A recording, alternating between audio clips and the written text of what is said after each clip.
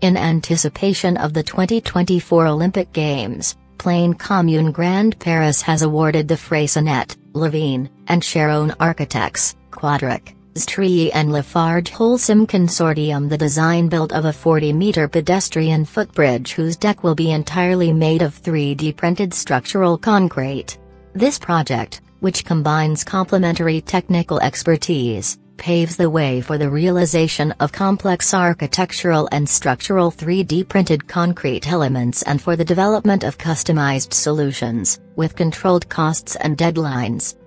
For this world first, with 3D structural concrete printing, construction enters into the era of industrialization 4.0. The digital design of the structure, the production in industrial conditions of footbridge components and their rapid assembly on site bring agility and frugality, less transport, no need for formwork, less material consumed, target of a 60% reduction in concrete consumption compared to conventional structures, and greater freedom of form for architects.